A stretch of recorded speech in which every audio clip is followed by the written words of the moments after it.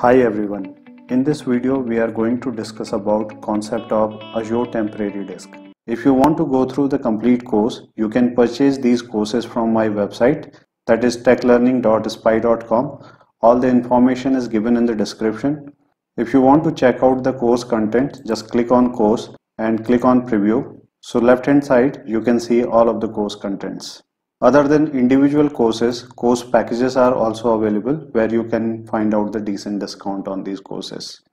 Let's get back to our So topic. in this uh, virtual machine, when I created this one, one thing I want to highlight, then when you go to this PC and you go to device and drive list, you have a C drive. In this drive, you have your operating systems. Okay. So all of your operating system files is deployed on C drive. And other than that, Azure has given me a temporary storage. Okay. And what is the size of this temporary storage in this case? You can see 15.9 GB has been given me and temporary storage is written. So why temporary storage is written on it? When you open this uh, drive, there is one notepad file has been kept by the Azure. And if you open this file here, some disclaimer has been written. There is a warning here. And this warning says that this is a temporary disk.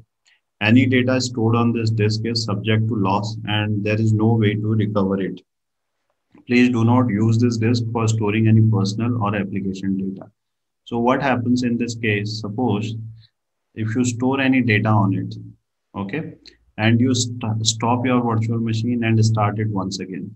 So what will happen? This data will be lost. Whatever you have saved inside this temporary storage, everything will be lost. Now, from where I get this temporary storage that we need to understand. So you can try it. Uh, you can create one folder and uh, put some file in that folder and then stop your virtual machine and start it again. When you come back here, you will see that your folder will be deleted.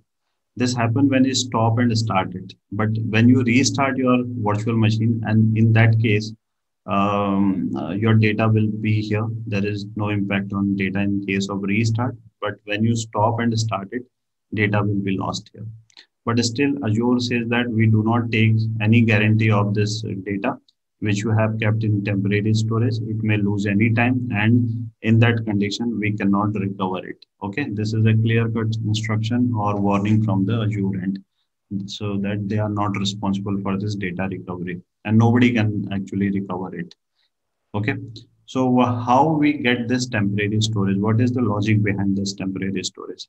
So come back on this PPT. Okay. Uh, this is your virtual machine. When I created my virtual machine VM1, you can see that there was two drive. One is OS disk, that is my C drive.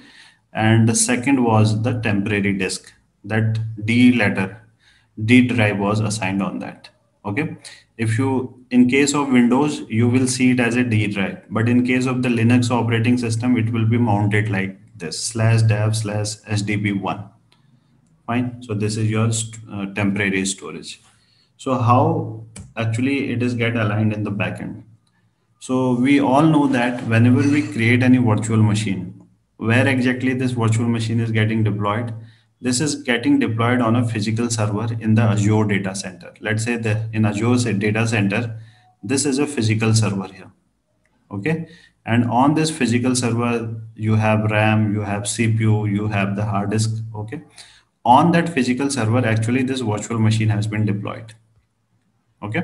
So we also know that when we are creating a virtual machine because virtual machine also need uh, virtual ram virtual cpu so this virtual machine is getting all of these resources from the physical server. Okay? This is getting from the physical server with the help of the hypervisor. So hypervisor is actually assigning or extracting the physical resources into the virtual resources. Now, what about this C drive and D drive? Okay, RAM and CPU, I told you that from the physical server you are getting it. But what about the C drive and the D drive? So this C drive on my virtual machine, actually we get this storage from the Azure storage. So Azure storage is a separate service. So it is like a storage account. In upcoming class, we will understand this part. Okay so you can understand it in a way that there is a storage account which is managed by the azure we do not have any control on that okay and inside the storage account actually my c drive has been created. Okay? So whenever i put my data on c drive or retrieve my data so what happened? So it travel through this network path and access the data from the uh, azure storage account where my c drive has been kept okay? So this is not locally available in your virtual machine. It is available somewhere in the azure storage account and from there it is actually mapped here inside my virtual machine. So that is the reason when i store or retrieve something it travel via this network path. And if it is traveling via the network path so there will be a latency here. Correct? So but in case of this temporary disk what happened this temporary disk, we are getting it from the local hard disk of our physical server. This is my physical server. On this physical server, I have this virtual machine. This virtual machine temporary storage, this piece 15.9 GB in my case, from where I'm getting it, I'm getting it from the local hard disk of my physical server where virtual machine is deployed. Okay, so what are the, what will be the impact now? Here you can see that if you are storing or retrieving any data, that data has to travel this network path to actually go inside this storage account where exactly this C drive is located. But if you store or retrieve anything from this temporary disk, this will be very fast. Why? Because this is located on the local hard disk here. So it is not going via the network path. It is locally available. Immediately it will go and access it. So that is the reason temporary storage is very fast compared to this storage here. One thing. Second thing is that because this is accessing this data or sorry, accessing the disk from the local hard disk.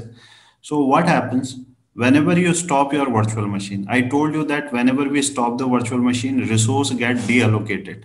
So what is deallocation? Deallocation means it will remove all of these attached resource. It will remove RAM, it will remove the CPU, it will also remove this hard disk. So that is the reason whenever you stop your virtual machine, the connection get disconnected here or this D drive actually has been removed the control of this local disk. So in that case, whatever data you had stored in this local disk here, which was aligned with your this temporary storage will be lost okay? Second time when you start your virtual machine there is no guarantee that your virtual machine is going to be deployed in the same physical server. It may deploy into the other physical server. Okay? And in that case this particular d drive will capture the local hard disk from that physical server. Okay? And all these are concept of the virtualization when you study about this vmware uh, courses, there you will understand how actually this work in the backend. There is concept of vMotion, uh, HA. So, so many concepts are there.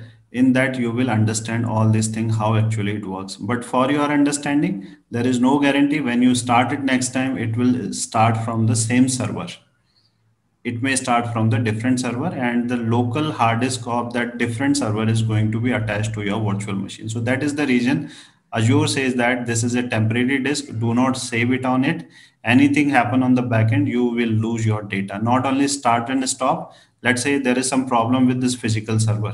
Okay. So what happens in the backend? Automatically, all, all of these virtual machine will move from this physical server to the other physical server. Automatically this happen and this is what we learn in the course of the virtualization, how to set up all these things. So already these are set up in the data center.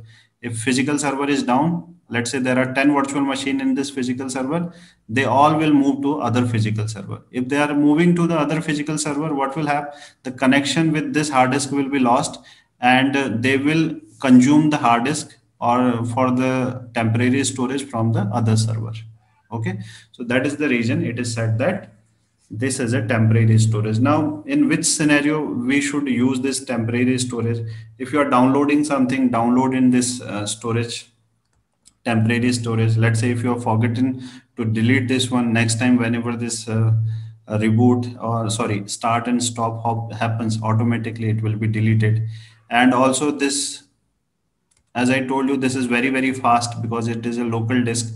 So you can set it as a page file also. Okay. So uh, page file uh, what is page file page file means uh, let's say in your laptop there are 4 gb of ram okay and uh, you can configure a page file in your laptop so meaning of that whenever your ram will be full like 4 gb is occupied in your ram so some of the pages from your ram will be moved from your ram to that page file so that it will have some uh, place and it can process your data. Okay? So you can set your page file in this temporary disk also. So these are the some real-time case scenario where we can use uh, our temporary disk. But overall i just wanted to highlight this part that there is a temporary disk also in it. And this is how it is actually aligned in the backend